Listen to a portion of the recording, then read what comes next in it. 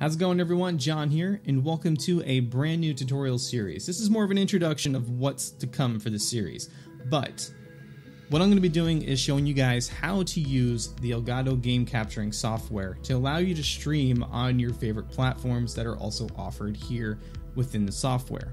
Now, whether you're using the internal or external capture card from Elgato, this software will work either way. Make sure you go to their website though to download the latest version. That way, you guys have all the bells and whistles of any type of changes they've made. Now, within this series, like I said, I'm going to be showing you guys how to be able to stream using this software.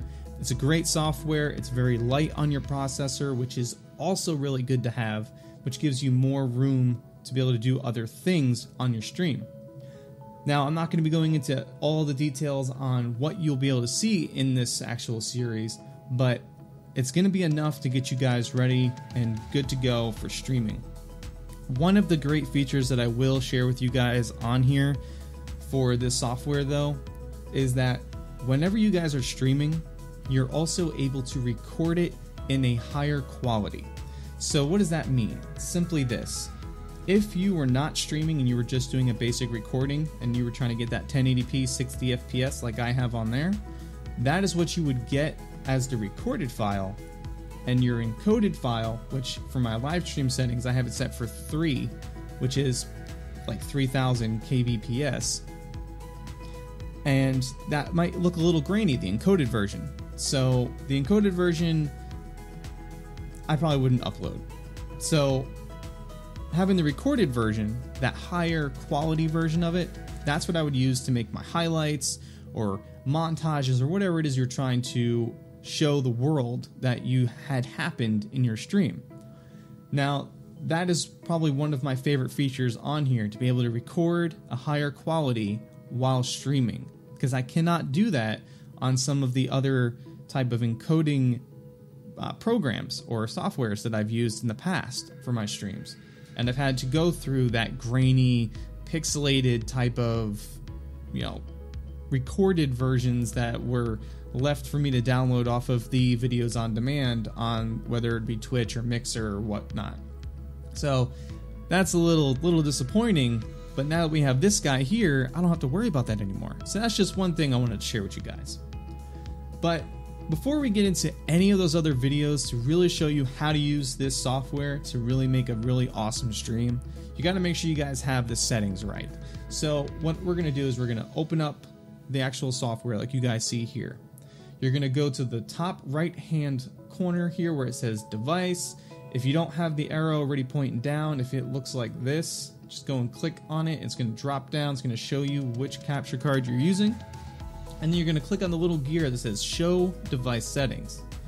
Now with this, you're going to go and adjust this to however you want. You can try copying my settings and see if they work for you.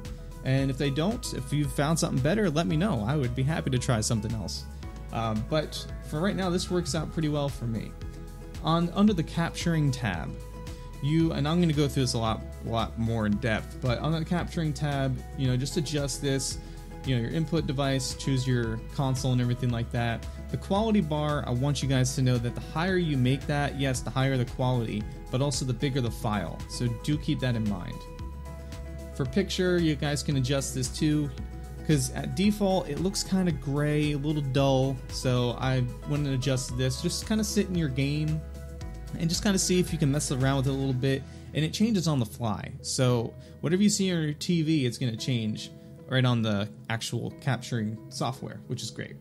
Audio, I don't mess with it. Profiles, don't mess with it. And I never mess with the advanced either. Now, you also want to make sure that you're saving all these things in the spot you're going to find them. So, at the very, very top right hand corner, you're going to see, of course, the X, the square, and then the underscore. And then you're going to have the gear. So, click on the gear, it's going to bring you to your preferences. Now, I was already in here, I was messing with stuff. Now, the advanced tab is not what you're to hit first.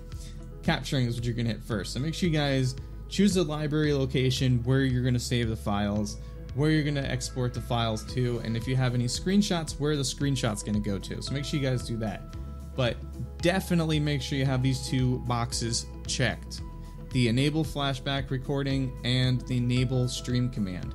The stream command is this guy right down here, right underneath your actual stream. This is where you're going to find all your overlays and stuff like that, which we will get into on a different video. For sharing, if you guys want to share, you're more than welcome to. I just kind of kept it the way it was. The only thing I added was down here for exporting in separate files because I don't feel like having to decompress anything or anything like that. I just want separate files for each. Might take up some more space, but once I'm done with the video that I'm trying to work with, then I don't have to worry about it. I can just delete them all. For updates, make sure you have automatically check for updates checked. You could have the feedback one checked if you want to. And hotkeys, I don't mess with them. And advanced, we're going to go into this on a different video. This is for the streaming portion. But I don't want to overwhelm you guys. I just wanted to kind of give you an introduction of what you're going to expect in the series. And each one's going to be pretty informative on their own. I'm going to make them pretty easy to follow and very verbal descriptions of where to go in case you guys are just listening in and not necessarily watching. But, anyways, if you guys have any questions throughout the series or even on this video, let me know in the comments. And you can also reach out to me on Twitter, my Discord, my streams. You can even send me an email if you guys want to, or send me a message on YouTube. There's many ways of getting in touch with me. I check these things like every day, so be sure to go ahead and reach out to me if you need to. But we're gonna get you guys up and running for streaming. I appreciate you guys watching this video. You guys have a good rest of your day. Stay positive, and I'll catch you guys in the next one. Thanks for watching. Take care, and as always, keep being awesome.